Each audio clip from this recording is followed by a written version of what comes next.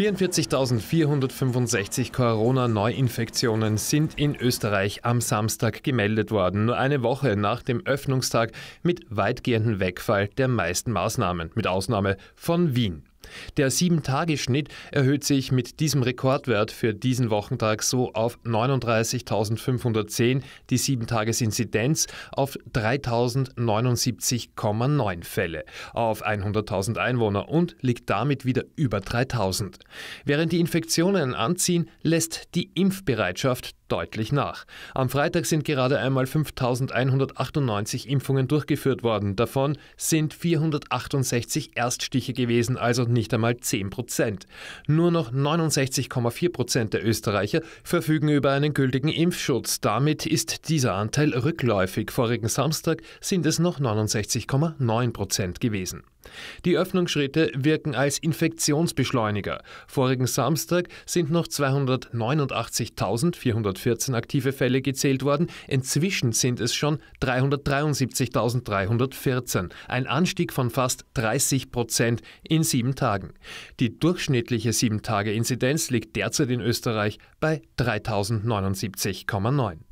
In Deutschland hat das Robert Koch Institut bei der bundesweiten 7-Tage-Inzidenz auch einen Höchstwert gemeldet. Der Wert der Neuinfektionen pro 100.000 Einwohner und Woche am Samstagmorgen liegt bei 1496. Vor einer Woche liegt die bundesweite Inzidenz noch bei 1220,8.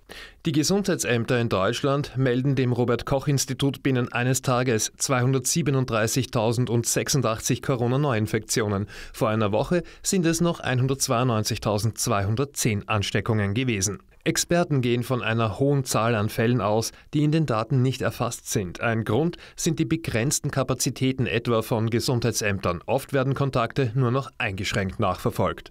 Auch in China sind die täglichen Corona-Infektionszahlen auf dem höchsten Wert seit Ende der ersten Pandemiewelle in Wuhan vor zwei Jahren. Am Samstag meldet die Nationale Gesundheitskommission landesweit 1524 lokale Ansteckungen, darunter 1048 asymptomatische Fälle. Und das bei einer Gesamtbevölkerung von 1,4 Milliarden. Erst am Freitag ist die nordchinesische Metropole Changchun nach nur ein paar hundert Corona-Infektionen in einen Lockdown Lockdown geschickt worden. Wie die dortigen Behörden bekannt geben, darf pro Haushalt nur noch alle zwei Tage eine Person für Einkäufe die Wohnung verlassen. Alle rund 9 Millionen Bewohner der Stadt sollen auf das Virus getestet werden.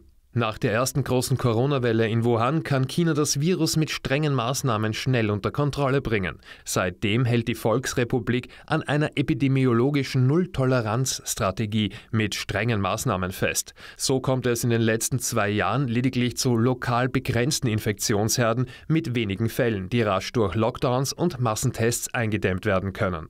Doch seit Omikron Anfang Jänner erstmals in der ostchinesischen Hafenmetropole Tianjin entdeckt worden worden ist, fürchten Gesundheitsexperten des Landes, dass die ansteckendere Corona-Variante die chinesischen Schutzmaßnahmen unterlaufen könnte.